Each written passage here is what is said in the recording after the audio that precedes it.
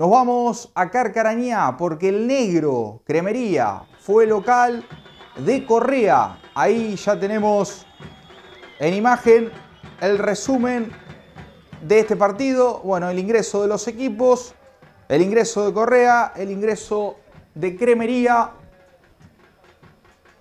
Un Cremería que sigue puntero con este resultado, líder de esta zona este de esta Liga Cañadense de Fútbol. Bueno, ya nos centramos en lo que dejó este partido.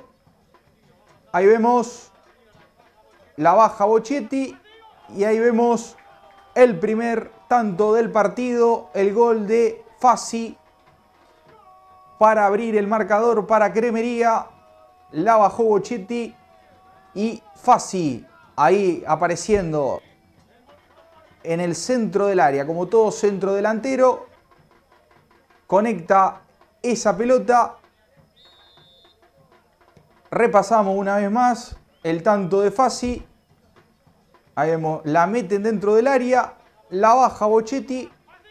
Bochetti como que quiere definir, termina saliendo como un pase. Y Fassi aprovecha y conecta ese balón para poner el 1 a 0 de Cremería que se ponía arriba en la cuenta. Y acá iba a llegar el segundo del negro, otra vez Fasi,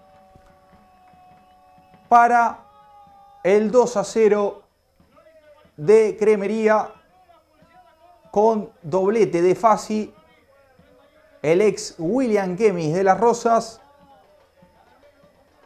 y que ha sido refuerzo en el último mercado de pases para Cremería. Ahí vemos una vez más en imagen la definición y el tanto de Fasi y su doblete para darle la victoria a Cremería como local sobre Correa.